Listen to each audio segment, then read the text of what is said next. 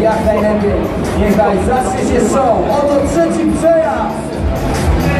No i Polski, Marcin Filipa za będzie uciekał. A gonić będzie